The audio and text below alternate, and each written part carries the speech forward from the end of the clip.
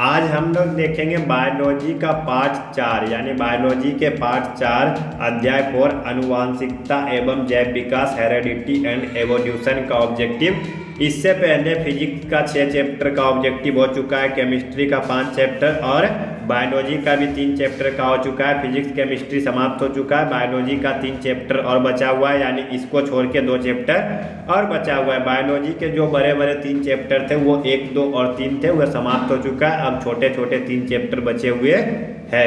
तो अगर आपने अभी तक साइंस के उन सभी ऑब्जेक्टिव को नहीं देखा है तो जाके देख लीजिए, वो सभी आपके लिए बहुत ही इंपॉर्टेंट होने वाले हैं। अगर आपको क्लास टेंथ के एग्ज़ाम में बहुत अच्छा करना है तो तो चलिए, देखते हैं हम लोग इसके ऑब्जेक्टिव को।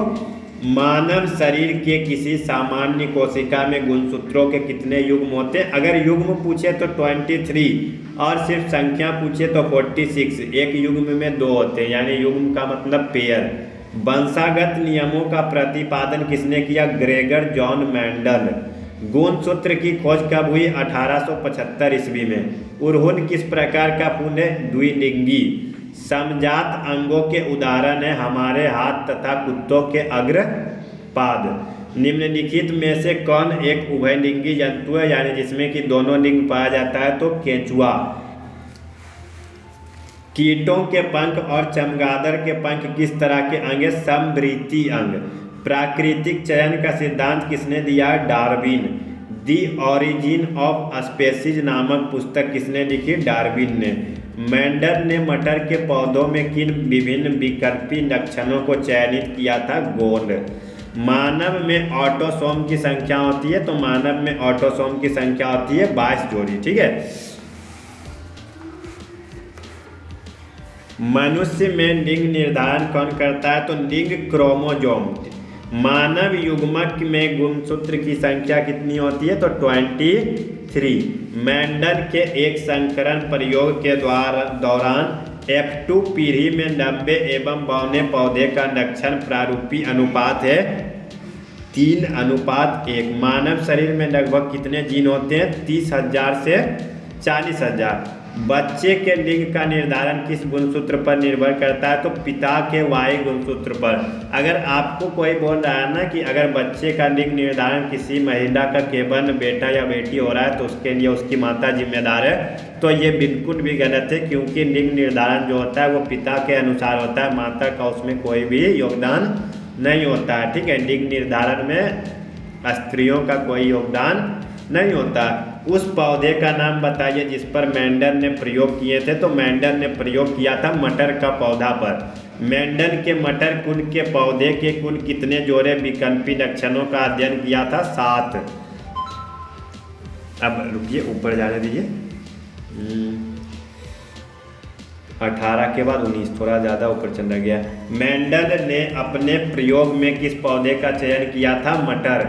जीव विज्ञान की वह शाखा जिसमें जीवों के अनुवांशिकता एवं विभिन्नता का अध्ययन किया जाता है कहलाता है जेनेटिक्स पुरुषों में कौन सा लिंग गुणसूत्र होता? है एक्स वाई और महिला में एक्स एक्स किसी जीव की जीनी संरचना होती है, जीन प्रारूप या जीनोटाइप। देखिए, ये एक्स वाई और एक्स एक्स जो है ना, अगर देखिए एक्स वाई इसमें होता है महिला पुरुष में और एक्स एक्स होता है महिला में।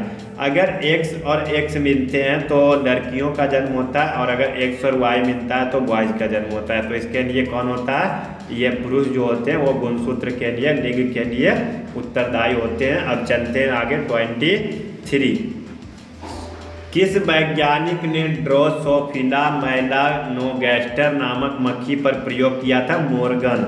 जीव विज्ञान की वह शाखा, ये देखिए, दोबारा आ चुका है तो उस वहाँ लिखा हुआ था जेनेटिक्स यहाँ हिंदी लिख दिया, अनुवांशिकी जिसके अंतर्गत अनुवांशिकता का अध्ययन किया जाता है।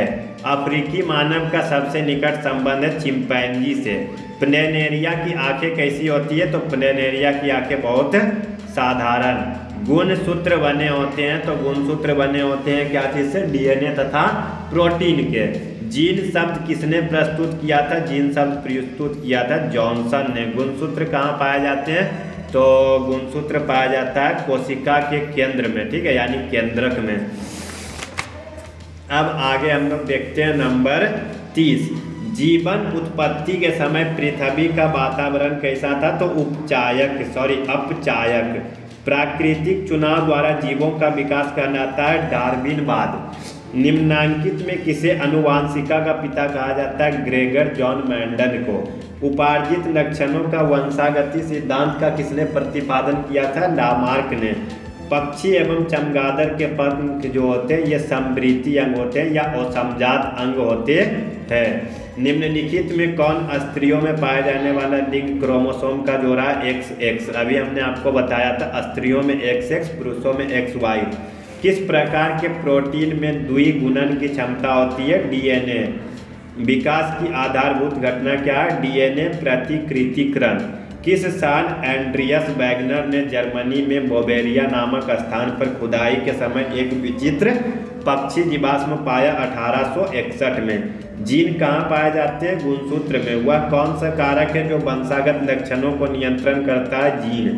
कोशिका के अभिकर्ण का आधारभूत लक्षण है केंद्रक। किसानों द्वारा जंगली गोभी से विभिन्न प्रकार के गोभी का विकास किया जाता है। कृत्रिम चयन।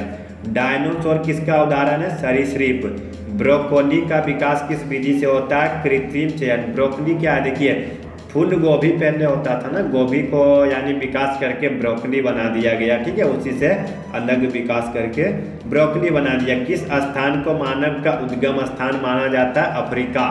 मनुष्य की कोशिका में गुणसूत्र की संख्या छियालीस। हमने पहले भी बताया था, अगर युग्म आए तो ट्वेंटी थ्री अगर सिर्फ़ संख्या पूछे तो फोर्टी सिक्स यदि लक्षण ए किसी अलैंगिक जनन वाली जाति में 10 परसेंट पाया जाता है और लक्षण बी उसी जाति में 60 परसेंट पाया जाता है तो कौन सा लक्षण पहले उत्पन्न हुआ? लक्षण ए, ठीक है? जो बाद में आता है वो अधिक होता है, जो कम होता है वो पहले आता है, ठीक है?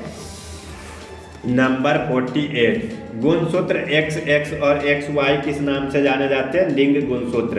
अंडाणु और शुक्राणु में कौन बच्चे के लिंग का निर्धारण करता है? शुक्राणु। एक, क्योंकि देखिए अंडाणु जो होता है, ये महिला का होता है और शुक्राणु पुरुष का होता है तो पुरुष जो है लिंग निर्धारण के लिए उत्तरदायी होते हैं। एक नवजात बच्चे में एक्स वाई गुणसूत्र युक्त पाया गया, यह लड़का या लड़की तो एक्स वाई लड़का एक्स एक्स लड़की उस वैज्ञानिक के नाम का नाम बताइए, उस वैज्ञानिक का नाम बताया जिसने पैतृक लक्षणों के पीढ़ी दर पीढ़ी अनुवांशिक होने का अध्ययन प्रथम बार दिया था मैंडन, यानी ग्रेगर जॉन मैंडन। इसीलिए इन्हें अनुवांशिकी का पिता भी कहा जाता है। मैंडन द्वारा अपने अनुवांशिकी के प्रयोग में किस प्रकार का पौधा लिया गया था? तो इन्होंने मटर का पौधा लिया था। मानव में कितने रक्त समूह चार है। ठीक है, मानव में कितने रक्त समूह हैं? चार। उस वैज्ञानिक का नाम बताया जिसने विकास के सिद्धांत का प्रतिपादन किया था, डार्विन। इसीलिए विकास के सिद्धांत को बोला जाता है डार्विन वाद जीवन की उत्पत्ति पृथ्वी पर कहाँ हुई थी? पानी में, यानी अफ्रीका में बोला जाता है कि जीवन की सर्वप्रथम उत्पत्ति हुई थी साइंस के अनुसार, वो भी पानी में। तो ये था आज का हमारा चैप्टर फोर का टोटल ऑब्जेक्टिव था अनुवांशिकता ठीक है? तो आज हम लोगों ने चैप्टर फोर का भी ऑब्जेक्टिव देख लिया। इसके बाद हमारा दो चैप्टर और बचा है तो अगले वीडियो में हम लोग आएँगे। हमारा पर्यावरण आवर इन्वायरमेंट के ऑब्जेक्टिव के साथ। अब धीरे धीरे साइंस का ऑब्जेक्टिव समाप्त होने के कगार पर है। हमारा पर्यावरण के बाद सिर्फ़ एक और चैप्टर है, उसके बाद साइंस समाप्त हो जाएगा। तो अगर आपने अभी तक साइंस का टोटल ऑब्जेक्टिव का रिवीजन नहीं किया तो आप देख लीजिए हमारे चैनल पे आपको साइंस का टोटल ऑब्जेक्टिव देखने को मिल जाएगा। मिलते हैं नेक्स्ट वीडियो में हमारा पर्यावरण के ऑब्जेक्टिव के साथ। अभी के लिए बस इतना ही। धन्यवाद। जय हिंद।